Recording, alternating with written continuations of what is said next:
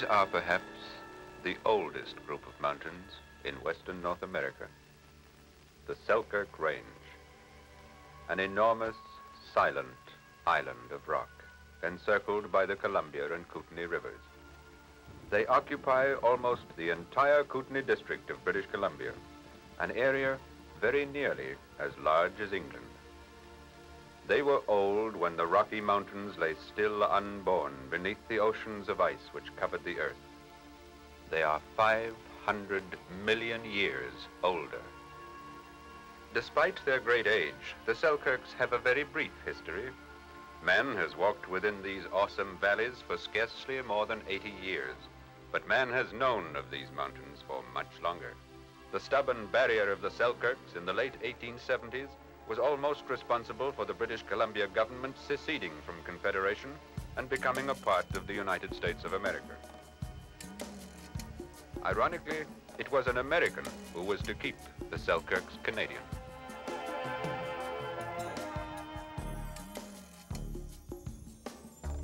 On May 28, 1881, a small group of men led by Major A.B. Rogers, a Canadian Pacific Railway route finder, skirted the Illecillewaet Glacier in what appeared to be a pass.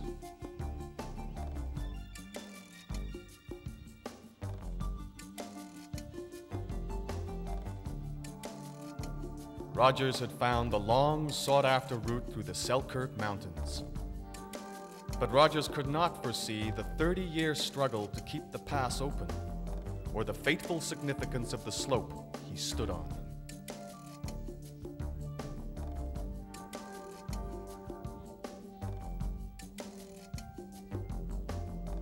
Major Rogers had discovered the only feasible passage through the 30,000 square miles of the Selkirk Mountains. Construction camps like Rogers Pass Village were thrown up. Hotels and restaurants gave the pass a Klondike look. By 1884, 4,000 men from every nation on earth were working helping to build this railway through one of the toughest mountain passes in the world. The Selkirk section required some remarkable feats of engineering, including 13 state-of-the-art bridges and four miles of snow sheds. It was incredibly tough work, with an average wage being $2 a day. During the winter months, the working conditions were at times unbearably tough, and many men quit.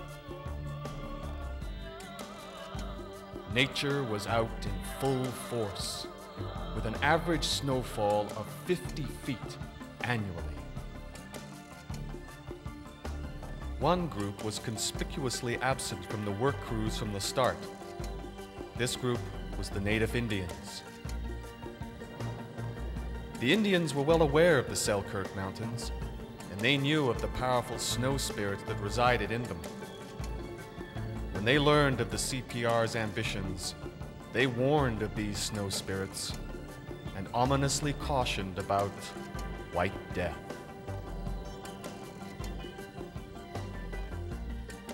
The CPR was determined to complete the Transcontinental Railway, and it forged ahead disregarding the natives' advice. Through the winter, avalanches hindered progress and scared the work crews.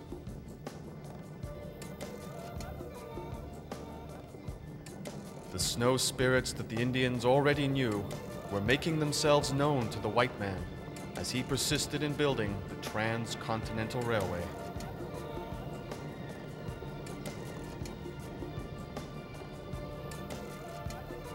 On November 7, 1885, the symbolic last spike was driven into the ground at Craigellachie.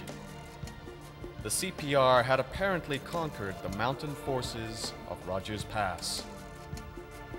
The first transcontinental train left Montreal on June 28, 1886, and successfully navigated the pass on its way to the west coast.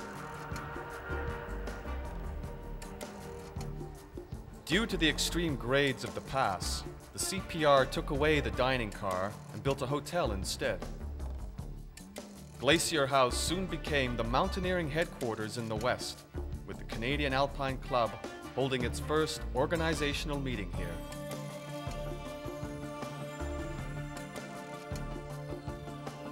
In 1899, mountain climbing came into its own with the arrival of two Swiss guides, Edouard Feuz and Christian Häsler. Nature kept plaguing the railway, and throughout the winter it was always a battle to keep the lines open. The men who worked on the line knew all too well what to expect. Oh, it's a, it's a disgusting sight to see a slide. No, horrible. I've seen lots of them. And they seem to be alive. The winter of 1910 was a particularly rugged one. On the evening of March 4th, a rotary crew was busy clearing the tracks when suddenly an enormous avalanche roared down Avalanche Mountain, killing 62 men. The mountains were angry. And there was only one man come out of the whole thing alive. His name was Billy LaChance. Oh, it's just like if there was tons on top of me. Now, all the time I'm in that, I don't get one breath because the snow has got packed right tight to my face. And then this pressure come on. Everything was just dead. Nature had vented her displeasure, and man was the victim. Between 1885 and 1911, over 200 people were struck by White Death. The cost of man's determination to overcome the forces of nature. These days, the spirits of these men and women are still present at Rogers Pass. The CPR finally conceded that the pass was unsafe and set about building the 8 kilometer long Connaught Tunnel, eliminating 16 kilometers of the most hazardous railway line in the world.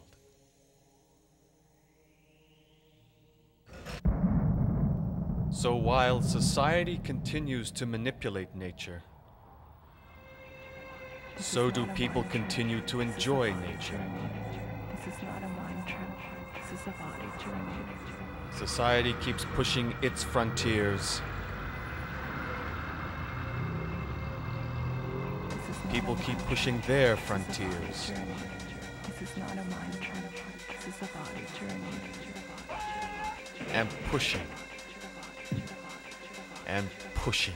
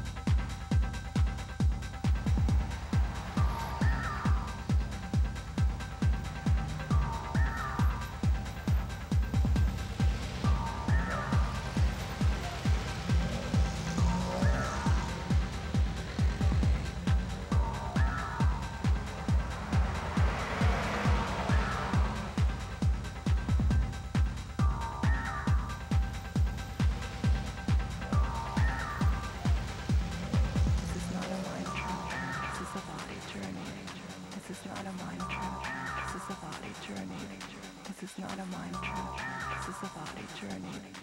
This is not a mind trip. This is a body journey. Society's materialistic concerns are increasingly reducing people's spiritual connection with the natural world. From the summit of any mountain, we see into nature and into ourselves, an experience of communion with the spirit within. We are all climbers, and we yearn to achieve the summit of our own souls.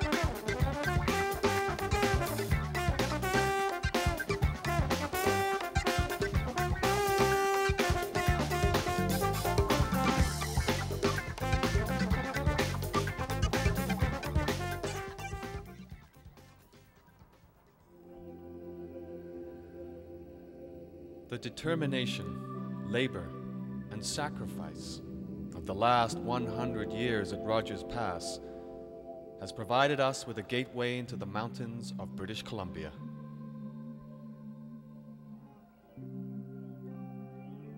Now, these spectacular mountains are there to enjoy and commune with.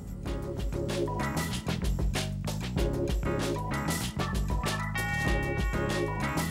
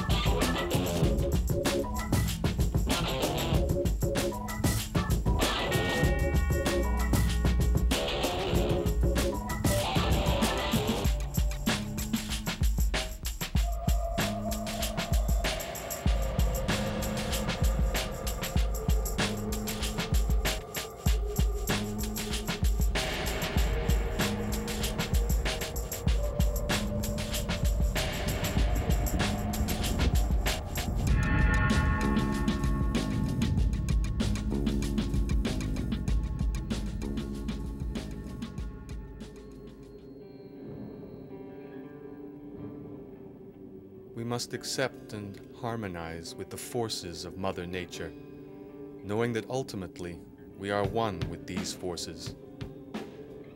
Through our passionate interaction with the mountains, we reach our own enlightenment.